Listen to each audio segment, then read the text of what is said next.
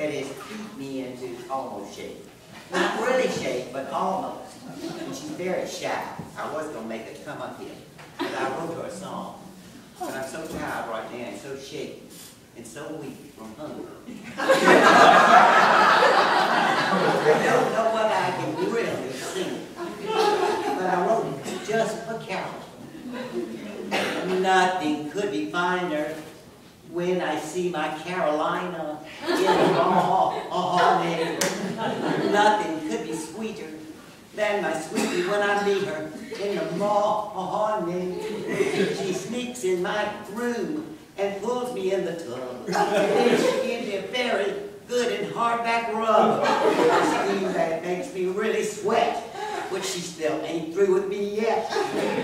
Uh, still ain't through with me yet. Colonics is next. It's really By the time that girl's through with me, I'm really beat. But I go to my room, dead on my feet. Nothing could be finer than to see Carolina in the morning.